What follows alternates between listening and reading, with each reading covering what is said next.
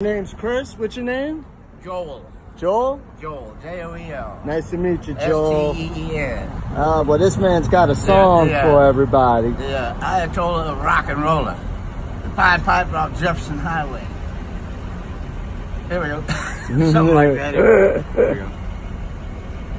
Police would let me, I know I could grow weed as high as the clouds in the sky. I'd always be so stoned, I'd always be at home, guarding my crop with my line. Pot doesn't make me lazy, but it does make me hungry, and it wouldn't hurt me to gain a few pounds. But it's never caused me to crash my car to be tossed from a bar. But a few times it has made me late.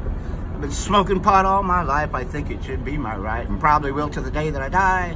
So leave me alone. I want to go home and get stoned. Unless you want to come along, we'll all go get high.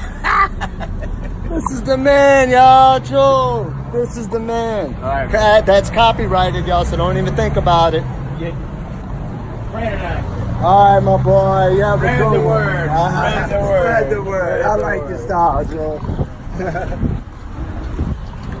See, that's what I'm talking about. People like that. Fucking- You think he's smoking?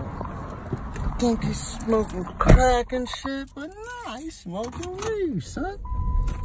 Man, I love people. Seriously, love people. Sometimes. I love good people. Fucking hate fuck boys.